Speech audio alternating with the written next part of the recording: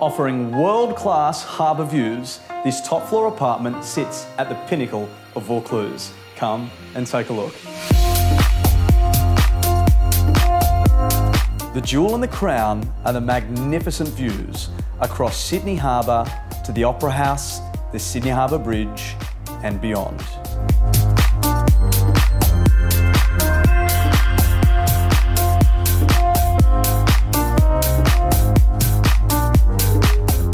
The apartment has been meticulously renovated and restored throughout.